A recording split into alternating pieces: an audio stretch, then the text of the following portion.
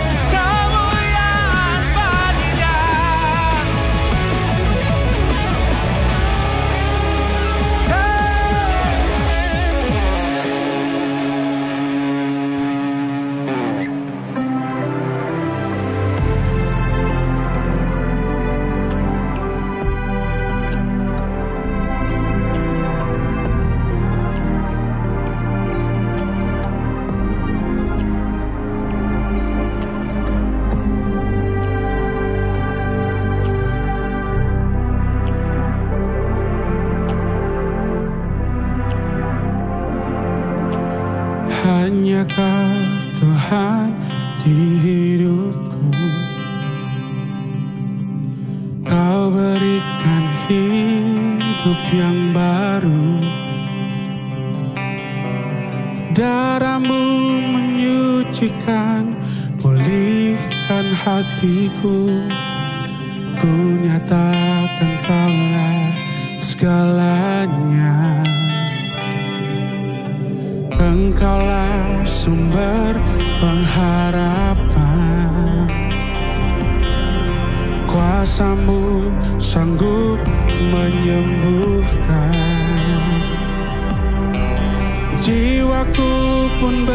berserah hanya kepadamu.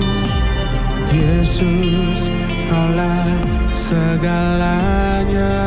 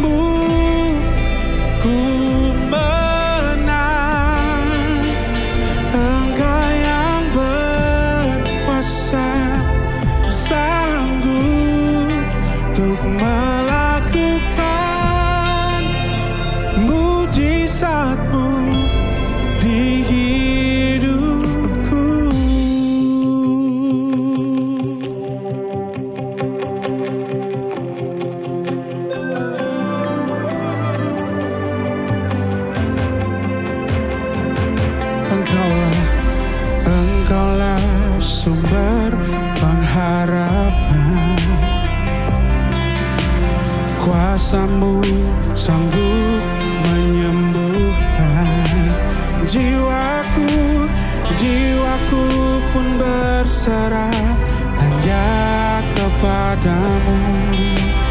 Yesus kalah segalanya. Karena saling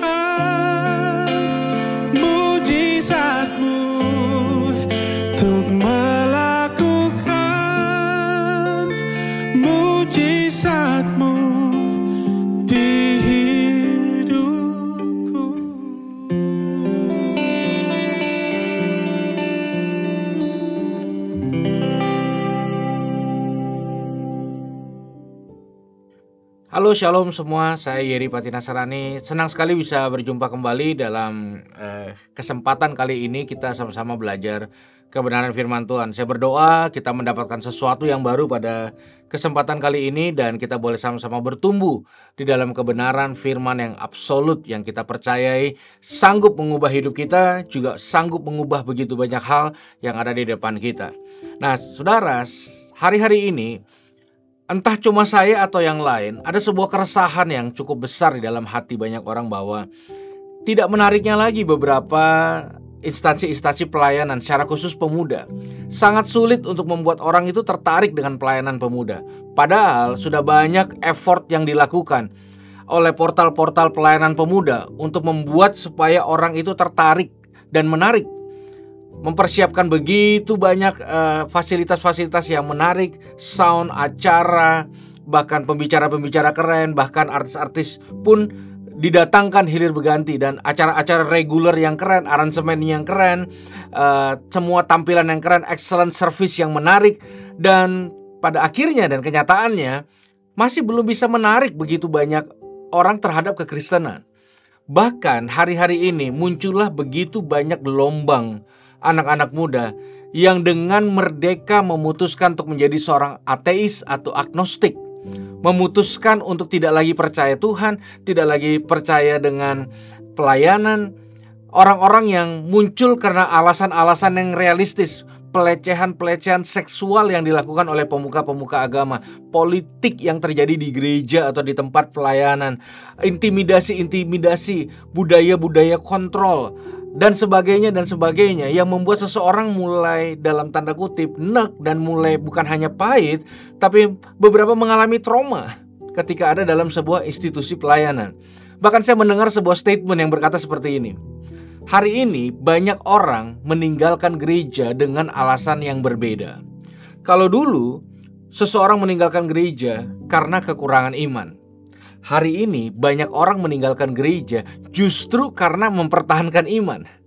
Akhirnya muncul statement-statement seperti ini yang lahir dari keresahan yang saya berani berkata banyak kejujurannya juga di dalam hati generasi hari ini yang layak kita perhitungkan, kita dengar, kita respect bahkan kita urai apa yang terjadi dalam institusi pelayanan.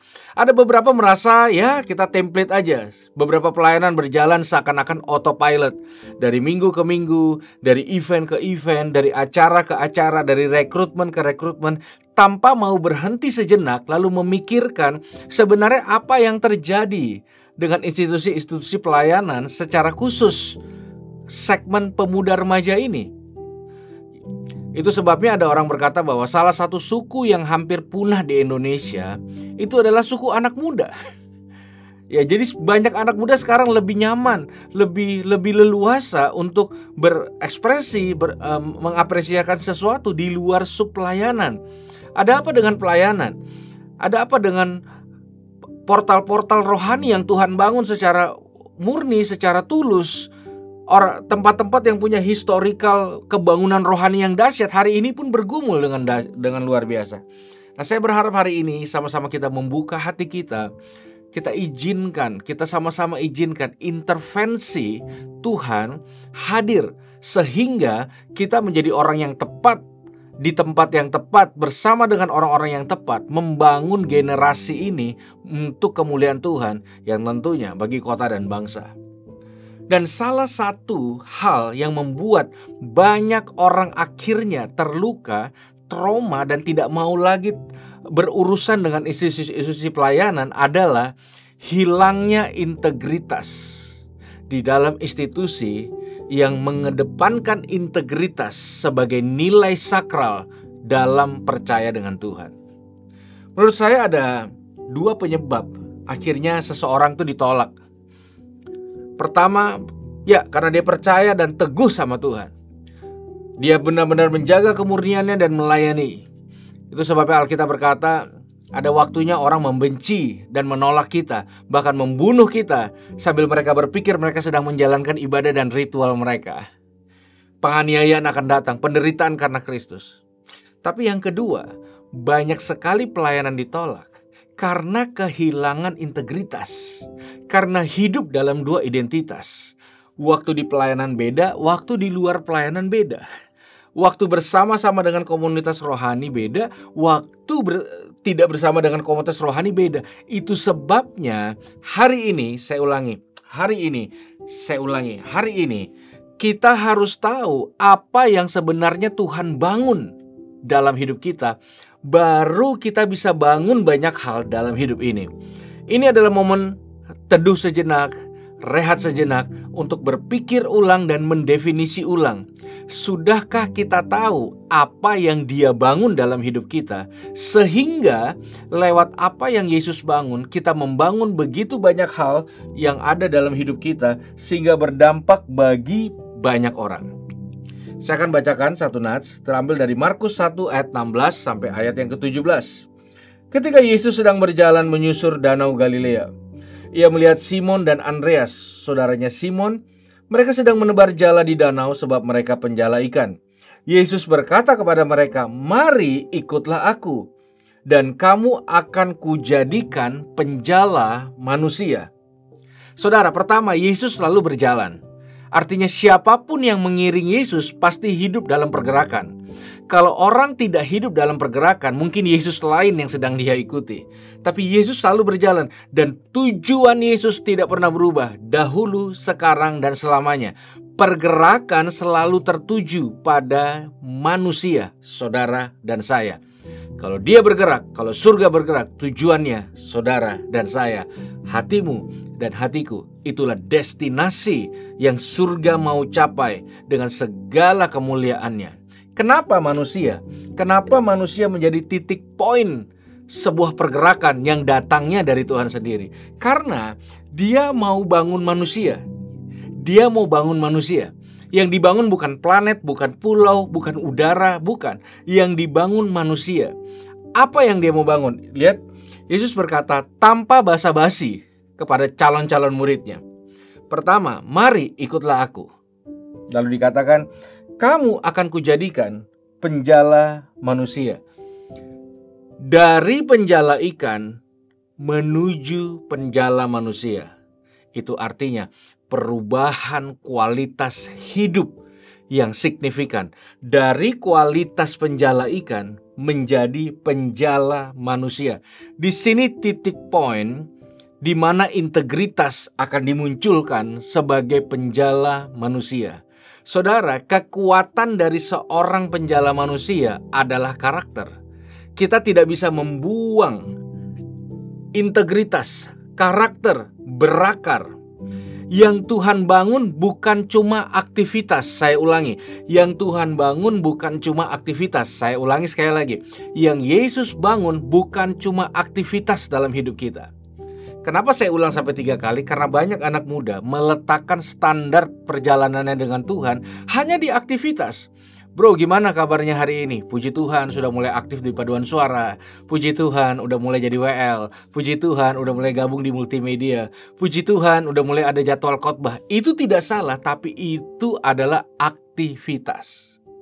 Sedangkan inti yang Yesus bangun adalah kualitas bagaimana kita mengatur keuangan kita, bagaimana kita punya gaya pacaran, gimana kita dalam menempati waktu, gimana kita dalam menghormati orang tua, gimana kita menaruh rasa respect pada para otoritas-otoritas yang ada, gimana kita berjuang untuk tidak hidup dalam dua identitas. Itu sebabnya mari kembalikan kualitas pelayanan sejatinya bukan hanya aktivitas, tapi kualitas yang di dalamnya ada integritas, nilai-nilai sakral dalam pelayanan. Ada hal yang menarik, saya mau ajak kita lagi lihat lagi satu bagian firman Tuhan di dalam Mazmur 40 ayat yang ketiga. Saya mengajak kali ini kalau bisa semuanya lihat Mazmur 40 ayat yang ketiga ya. Demikianlah firman Tuhan. Ia memberikan nyanyian baru dalam mulutku untuk memuji Allah kita. Banyak orang akan melihatnya dan menjadi takut, lalu percaya pada Tuhan.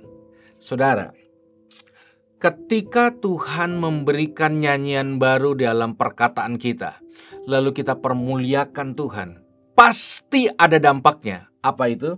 Orang-orang menjadi takut dan percaya kepada Tuhan. Nah, lihat baik-baik ayat yang tadi kita baca, ada satu yang menarik, Saudara. Di sini dikatakan banyak orang akan melihatnya. Ia memberikan nyanyian baru, lalu banyak orang akan melihatnya. Sebenarnya ada yang aneh. Karena nyanyian sejatinya didengar, bukan dilihat. Tidak ada nyanyian yang bisa dilihat. Tidak ada nyanyian yang bisa terlihat fisiknya. Nggak ada orang mendengar musik lalu bilang elok sekali musik itu. Nggak ada. Tapi di sini dikatakan ada nyanyian yang bisa dilihat.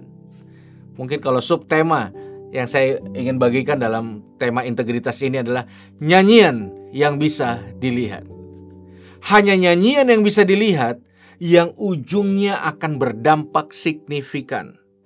Kalau mau berdampak, lahirkan nyanyian yang bisa dilihat. Apa itu nyanyian yang bisa dilihat? Nyanyian yang bisa dilihat adalah gini, Ketika kita bernyanyi, orang bisa lihat gak karakter dan integritas kepada kita? Bukan hanya nyanyian aja, tapi integritas si penyanyinya bisa dilihat gak? Sebagai pribadi yang benar-benar punya integritas. Nyanyi, semua bisa nyanyi, semua bisa beraktivitas, tapi bagaimana orang menjaga kekudusan, bagaimana orang mengatur waktu dengan baik, bagaimana orang menjaga integritas, itu hal yang berbeda. Maka satu kali ada seorang hamba Tuhan menyampaikan hal ini kepada saya, Yeri, kalau kamu mau menaklukkan bangsa-bangsa, hal ini harus kamu lakukan. Saudara, betapa terpesonanya saya dengan pertanyaan itu. Dan pertanyaan itu akhirnya membuat saya dalam anugerah Tuhan dapat kesempatan diundang beberapa negara untuk bisa melayani Tuhan. Jadi tipsnya ini berhasil. Tips untuk bisa melayani saya bangsa-bangsa. Itu bagi orang kelaparan saya menantikan jawabannya. Dia bilang gini, kalau kamu mau menaklukkan bangsa-bangsa, taklukkan dulu kamar tidurmu. Kalau kamar tidur sendiri nggak bisa diberesin, kalau urus diri sendiri aja masih nggak becus, mandi jarang, sok sikat gigi jarang, kalau urus kendaraan sendiri aja masih nggak becus, kalau lampu merah masih diterobos, kalau buang sampah masih sembarangan, kalau masih terlambat, terlambat dan terlambat, kalau masih nyimpen video bokep, kalau masih pacaran yang nggak kudus, bagaimana mau dipakai Tuhan dengan dahsyat dan luar biasa? Ingat, bukan suara yang dilihat, tapi tingkah laku yang dilihat. Makanya Yesus bangun tingkah laku. Di saat orang banyak membangun cara ibadah yang lebih baik, Yesus bangun cara hidup yang lebih baik. Nah, mari kita kembalikan kehormatan pelayanan sejatinya kepada tingkah laku, integritas, proses, dan sebagainya. Jadi, gini, kita tidak bisa berbuat baik tanpa memiliki kesaksian yang baik. Saya ulangi, kita tidak bisa berbuat baik tanpa memiliki kesaksian yang baik. Dunia pelayanan itu bukan kayak Robin Hood. Mencuri, merampok, lalu membantu orang susah, membantu orang miskin bangun gereja kayak mafia-mafia Itali di mana uang dari prostitusi, uang dari narkoba, bangun gereja, bangun panti asuhan tidak bisa tidak ada keberhasilan dalam pelayanan dalam bentuk apa pun yang bisa menggantikan integritas yang tidak teruji dalam kehidupan seseorang. Tidak ada keberhasilan dan kemaksimalan dalam pelayanan dalam bentuk apa pun yang bisa menggantikan kegagalan dalam berintegritas. Kita butuh Tuhan, bukan hanya untuk mengembangkan pelayanan, kita butuh Tuhan juga untuk mengembangkan integritas kita. Kita butuh Tuhan bukan supaya uang kita tambah banyak, bukan supaya fasilitas kita tambah banyak, bukan supaya kita hanya bisa sembuh. Kita mengalami terobosan tingkap langit yang terbuka dan mengalami begitu banyak hal terobosan. Kita juga butuh Tuhan untuk mengalami kedalaman karakter bersama Kristus. Kita butuh Tuhan untuk tidak sombong. Kita butuh Tuhan untuk sabar, murah hati, lemah lembut. Kita butuh Tuhan juga untuk setia. Kita butuh Tuhan untuk jujur. Kita butuh Tuhan bukan hanya untuk mengambil apa yang bisa kita dapat, tapi untuk membangun apa yang ada di dalam kita. Saudara, butuh waktu beberapa detik yang mati dibangkitkan. Air berubah jadi anggur. Yang buta melihat yang lumpuh berjalan, tapi dibutuhkan waktu panjang untuk merubah integritas di dalam hati murid-murid Yesus, juga di dalam hati kita.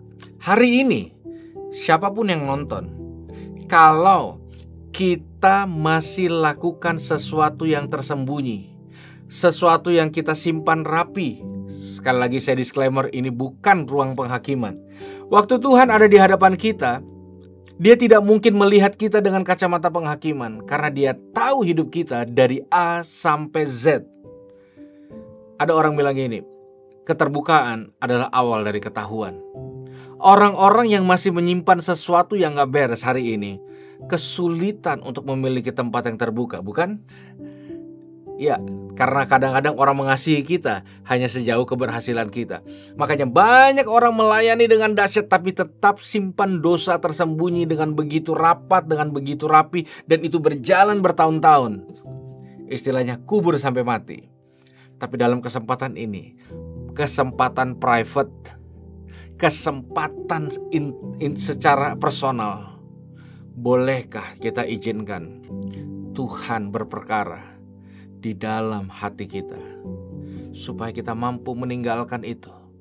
Izinkan boleh nggak letakkan bawah kaki Tuhan kekesalan kita, ketakutan kita, rasa bersalah kita yang mungkin kita terus bawa ke mana-mana. Mungkin kamu belum bisa terbuka sama banyak orang atau mungkin kamu belum bisa datang ke gereja untuk terbuka, tapi hari ini izinkan Tuhan menghampirimu. Izinkan Tuhan memulihkan, izinkan Tuhan menyembuhkan.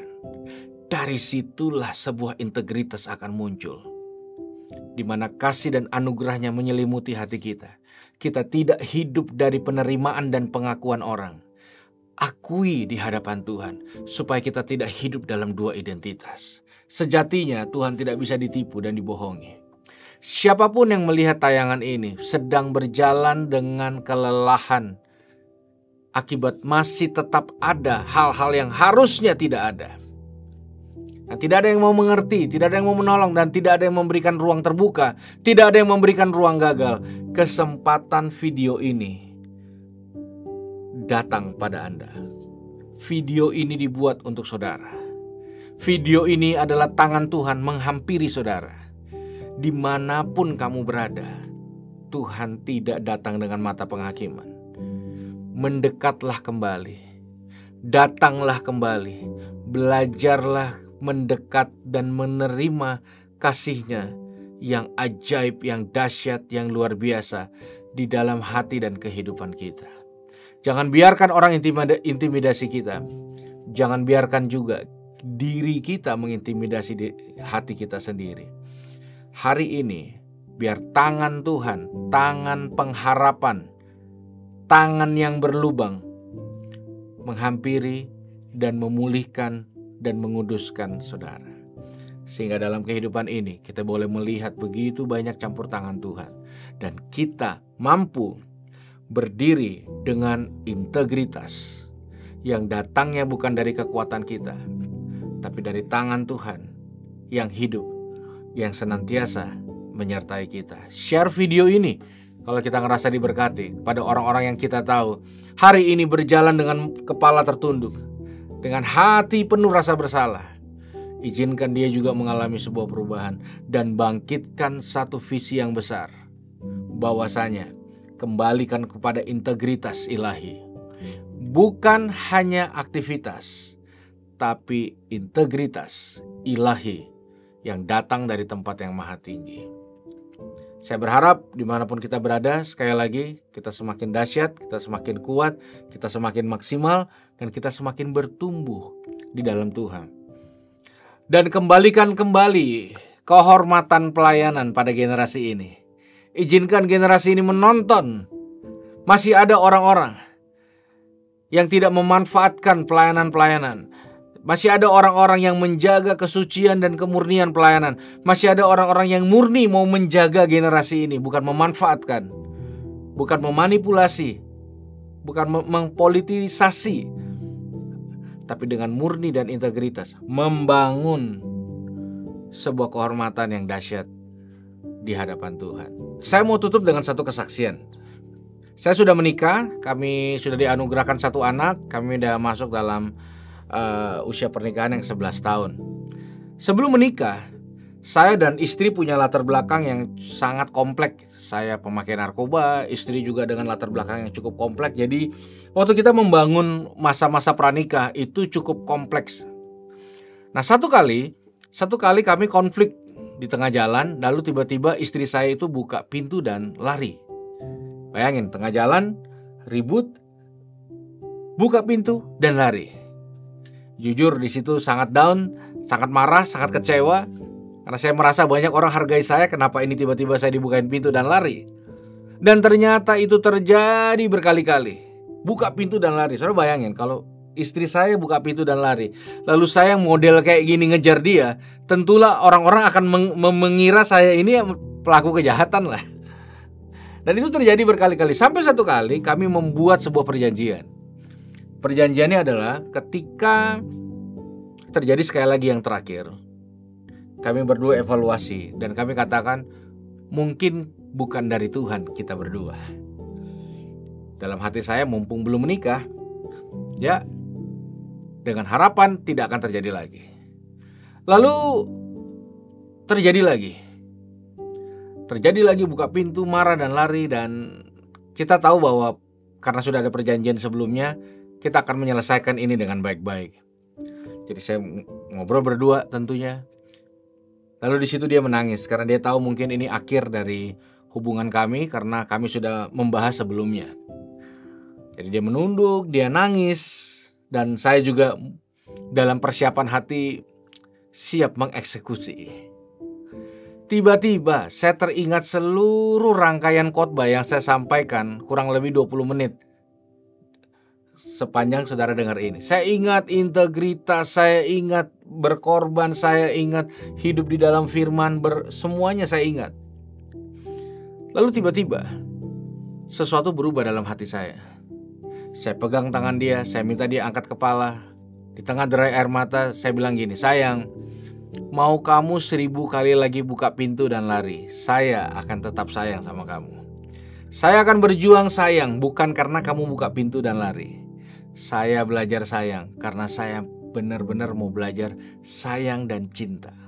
Di situ saya isyaratkan bahwa saya mau menikah dengan kamu. Saya mau jadi ayah, eh, ayah buat anak-anakmu satu saat. Saya mau berjuang supaya nanti keluarga kita baik. Di situlah saya memperkuat komitmen. Dan saya tahu apa yang terjadi.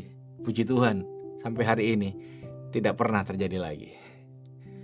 Ada hal-hal tertentu yang hanya bisa diatasi oleh integritas, bukan kesombongan, bukan backingan, bukan intelektual, bukan pengalaman-pengalaman.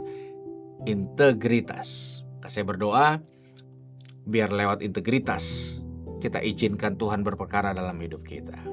Tuhan memberkati kita semua, mari kita berdoa. Di mana pun kami berada, kami butuh Tuhan untuk membangun integritas dalam hidup kami. Kami berdoa saat ini dalam nama Yesus, biar Engkau sendiri yang menuntun dan membangun hidup kami. Namamu dipermuliakan ya Tuhan. Kami berdoa biar kami boleh sungguh-sungguh mengalami anugerahmu yang luar biasa. Hari ini kami menyerahkan, mendedikasikan seluruh hidup kami ke dalam tanganmu. Kami tidak mungkin mampu kalau bukan Tuhan yang menolong kami. Namamu dipermuliakan, dalam nama Yesus kami berdoa dan mengucap syukur. Haleluya, mari bersama-sama kita katakan. Amin, Tuhan Yesus memberkati. Amin.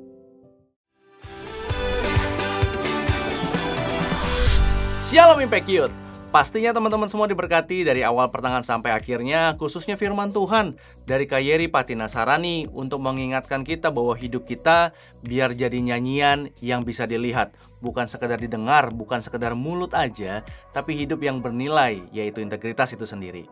Dan berharap teman-teman semua diberkati dalam sebulan ini dengan tema integritas akan kita bahas di Impact Youth sebulan ini. Dan untuk teman-teman semua, kalau mau bertumbuh bersama-sama, Impact Community Indonesia ada komunitas selnya, yaitu Impact Family. Dan ini teman-teman bisa scan QR code yang ada di sini. Nanti teman-teman akan diarahkan ke grup WhatsApp yang ada, bisa sharing di sana menggunakan aplikasi Zoom, bisa terus bertumbuh bersama-sama, saling mendukung, saling mendoakan jadi keluarga yang baru di dalam Tuhan. Dan untuk teman-teman semua, jangan lupa bahwa saksikan terus Impact Youth setiap jam 7 waktu Indonesia Barat, jam 7 malam waktu Indonesia Barat di channel YouTube-nya Henny Kristianus dan juga Impact Community Indonesia. Dan teman-teman semua bahwa Impact Community Indonesia mengadakan ibadah onsite setiap minggunya di Hotel Santika. Ibadah pertama jam 9 pagi, ibadah kedua jam 11 pagi. Pastikan juga untuk teman-teman yang belum punya tempat ibadah yang tetap untuk bisa bergabung bersama-sama dengan kami. Dan terakhir untuk teman-teman semua mau support pelayanannya Yayasan Tangan Pengharapan, bisa beli merchandise yang ada di nomor ini, scan QR code-nya juga bisa. Nanti teman-teman bisa pesen apa yang kalian suka, model mana yang kalian suka. Waktu kalian beli, kalian beli itu untuk jadi berkat buat generasi ini. Itu aja teman-teman semua, sampai ketemu minggu depan.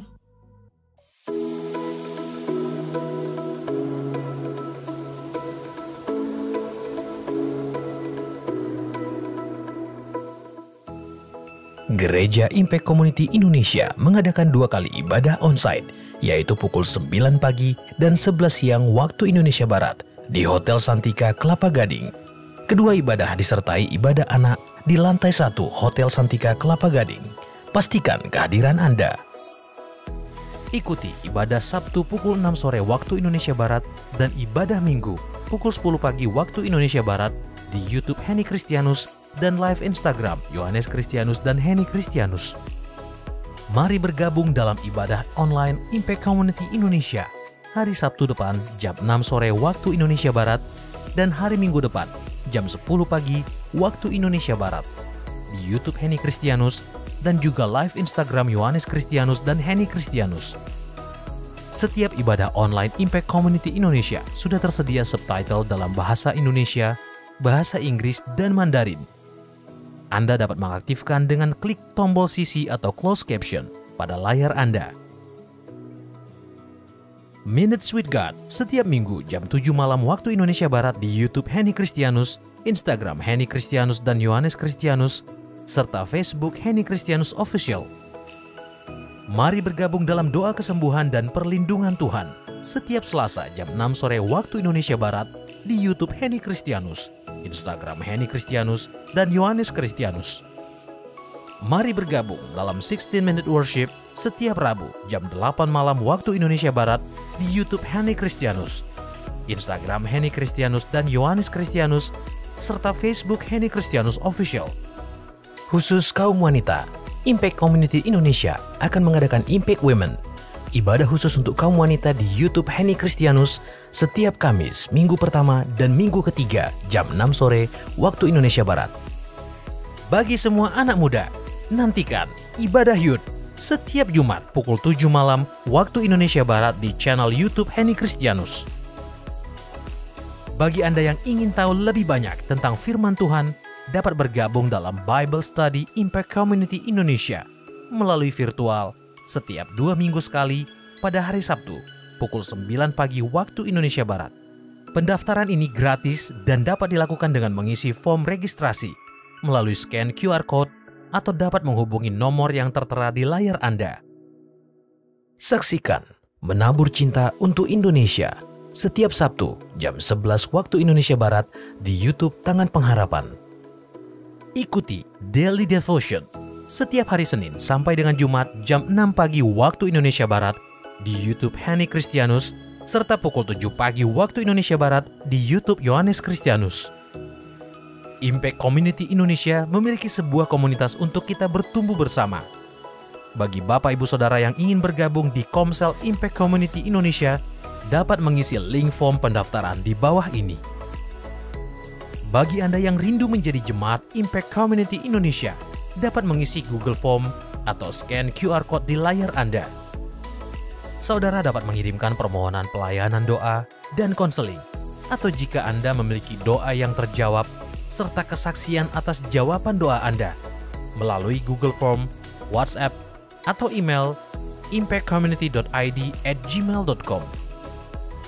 Bagi saudara-saudara yang diberkati Impact Community Indonesia dan ingin memberikan persembahan atau donasi, dapat disalurkan ke rekening Bank Gereja Impact Community Indonesia dan Yayasan Tangan Pengharapan serta QR Code BCA Mobile, GoPay, OVO, Dana, Shopee, dan Link Aja. Bagi Anda yang rindu untuk dibaptis, Anda dapat mendaftarkan diri Anda dengan scan QR Code yang ada di layar kaca atau menghubungi kami di 0811 9777 745. Tangan Pengharapan memproduksi merchandise positif by YTP dan baikan Tangan Pengharapan untuk menolong pendidikan anak-anak pedalaman Indonesia.